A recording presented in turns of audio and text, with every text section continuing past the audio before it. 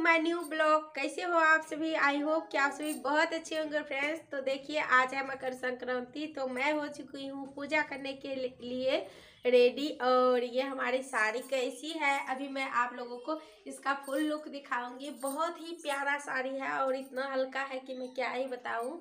और जो है, आज मैं कैसी लग रही हूँ बताइएगा ज़रूर। थोड़ा सा रेडी हो गए हैं और आज हमें ना बहुत ज़्यादा लेट हो गया है। अभी जो है डेढ़ बजने वाले हैं और अब जाके मैं नहाई हूँ। और ये हमारी ब्लाउज कैसी है वो भी आप लोग बताइएगा। अभी मैं आपको इसका बैक पार्ट दिखाऊँगी। इतना प्यारा लुक देता है बैक पार्ट की कि आप लोग देखोगे तो देखते ही रह जाओगे।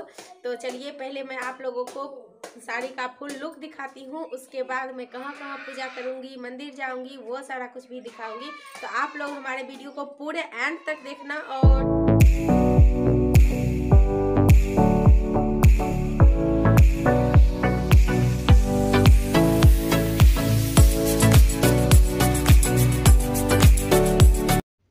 सो देखिए मैं यहाँ पर घर में जो है पहले पूजा कर लूँगी। उसके बाद जो हमारे वो छत पे मैं जो है तुलसी मैया का पेड़ लगाए हूँ, विष्णु पिंडा है, वहाँ पर पूजा कर लूँगी। उसके बाद देखिए मैं सीधे आ गई हूँ। ये है हमारे यहाँ का घर के बस पाँच दस कदम आगे है।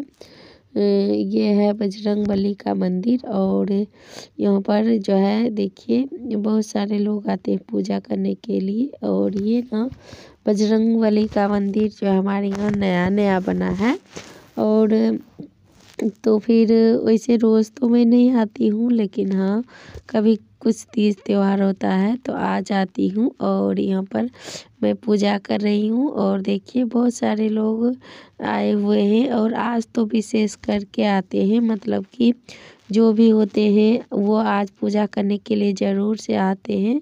जो है, जिस दिन कोई त्यौहार हो जैसे कि आज तो फिर ज़रूर से आते हैं और आज जो है, सभी को पता होता है जो तिल चावल का महत्व बहुत बड़ा होता है और यहाँ पर देखिए, उसी के नीचे में ना ये जो है ध्वजा जो रहता है, वो है और तुलसी मैया का थोड़ा सा पेड़ है, विष्णु पिंडा भी है और फिर यहाँ भी मैं पूजा कर लूँगी। उसके बाद देखिए, यहाँ पर मैं आ गई हूँ अपने माता रानी के मंदिर में। तो ये भी नया बनाया गया है। यहाँ तो बहुत ही पुराना मंदिर था, पता नहीं दो तीन सौ साल। तो वो तोड़ के और फिर देखिए, नए डिज़ाइन से मंदिर बनाया गया है और बहुत बड़ा मंदिर है। और यहाँ पर मैं पूजा करने के लिए आई हूँ तो ये भी मेरे घर के पास ही है। और देखिए, मिल लीजिए माता रानी से आप लोग भी और प्रणाम कर लीजिए। और ना, यहाँ पर पहले मूर्ति बनाया गया था गया था, लेकिन मतलब पहले था और अभी जैसे कि जो है फ़ोटो एक बड़ा सा लगा दिया गया है। अभी मूर्ति बनाया जाएगा धीरे धीरे और जैसे पहले था उसी तरीके से।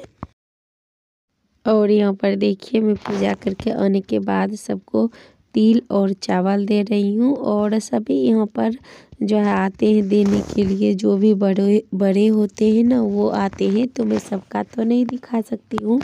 क्योंकि जो है ये सोशल मीडिया है तो बिना किसी के परमिशन के मैं किसी को नहीं दिखाऊँगी। ये हमारे घर की थी अपनी थी तो फिर उतना ज़्यादा हमें प्रॉब्लम नहीं लगा और मैं आप लोगों को दिखा दी तो बच्चों को भी दे दिए हैं।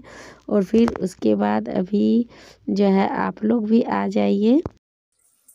सो so फ्रेंड्स आप लोग भी ले लीजिए हमारे हाथ से तिल हाँ,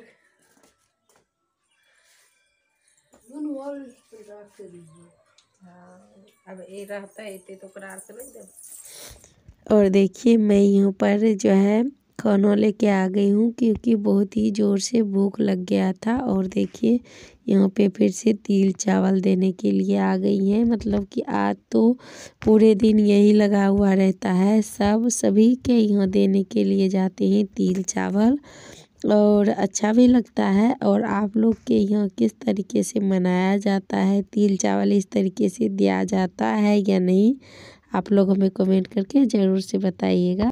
सो so फ्रेंड्स आप सभी का मकर संक्रांति कैसा गया बताइएगा ज़रूर। हमारा तो बहुत ही अच्छा गया है और अभी वीडियो बहुत ज़्यादा लंबा हो जाएगा तो इस वीडियो को मैं यहीं पर एंड करती हूँ। और थोड़ी बहुत चीज़ें हैं जो मैंने इसमें नहीं दिखाए हैं। नेक्स्ट वीडियो में आप लोगों को ज़रूर दिखाऊँगी। और अभी हमारे घर मेहमान भी आने वाला है, वो आप लोगों के लिए सरप्राइज़ है, कौन आने वाला है। नेक्स्ट वीडियो में आप लोगों को मिलेगा तो आप लोग ज़रूर से उस वीडियो को देखिएगा। तो वीडियो पसंद आया होगा तो लाइक करिएगा फैमिली दोस्तों के साथ शेयर कर दीजिएगा।